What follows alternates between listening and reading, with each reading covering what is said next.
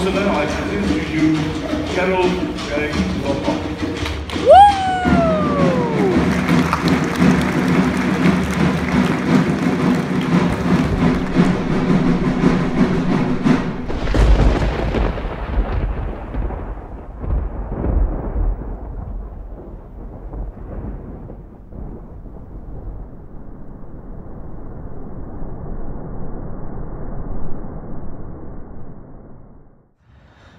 Blimey, we just crossed the ocean, landed on that piece of rock, and across the great desert of southern Africa.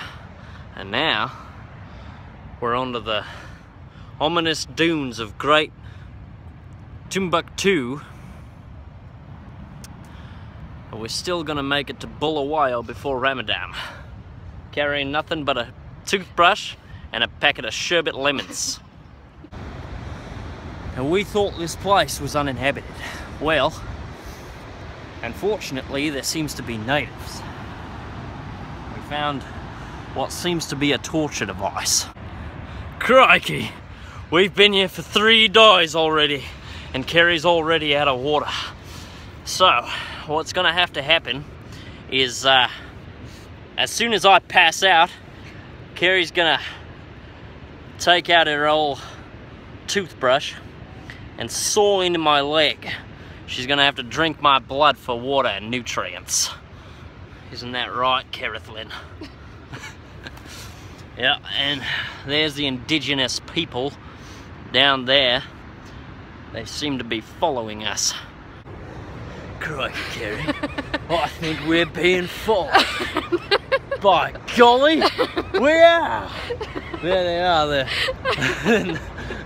South Africans in their natural habitat, following the Americans around, eh? Like, uh, trying to be David Attenborough. Or...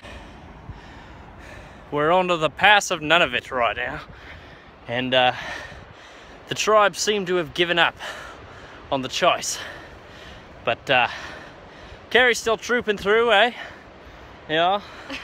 Didn't need to drink my blood yet, but it's not out of the cards. Kerry seemed to have caught traces of the great northern skunk, the deadliest animal in Africa. So we're going to be a little careful on the rest of this pass because they sneak up on you. Here you can see a fossilized python and uh, if you go all the way to the end there you can see that its head was torn off by something fierce. Alright, dangerous lands now. We seem to have missed Bulawayo by quite a bit. Uh, we need to reassess our situation and possibly turn back. It's been about three days and I still can't find the ocean. Do you know where it is, sir? Son of a nutcracker. We seem to have uh, gotten ourselves cornered because on that side is the ocean.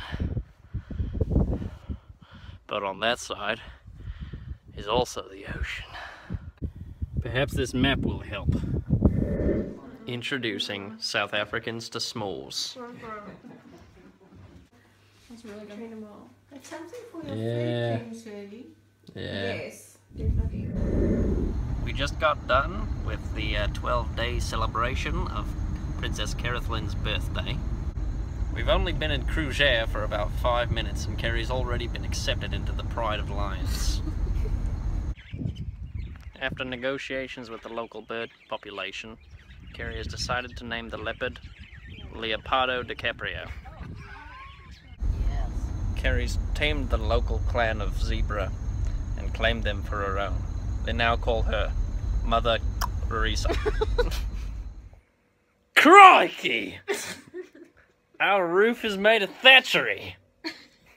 Crikey, the local witch doctors made fire. Watch out, folks. She bites. we had to steal supplies from a neighboring tribe because our tribe was running short. Gotta do what you can to survive. We'll drop my Samsung in the shower. She's just around the corner. Soon she will slumber. Blimey, we're in deep now. There she is. She just got out of a cave. Oh, she spotted us! Crikey, folks. I've never quite been so close to one before. There she is. The Kerithlinus carnivori. Now, at only 65 centimeters tall, she's the smallest animal in the rainforest. But watch those claws, though. Let's give her a poke, shall we? whoa, whoa, whoa, whoa. Careful now. She's given the signs of aggression. That means we're in her territory and she doesn't like that. Smush my Saskatoons on a silver platter. It's the Kerithlinus carnivori sleeping. We seem to have found an abandoned civilization. Now, you never know what's lurking in the ruins, but we're gonna check out this pathway and see where it leads. Jiminy Christmas, we found a watering hole. Supplies are running short. All we have left is a half-empty bottle of Coke, a Pringles can that's mostly eaten, and a bushel of oranges. Luckily, in our reserves, we have this fridge full of supplies. Watch out, Kerry!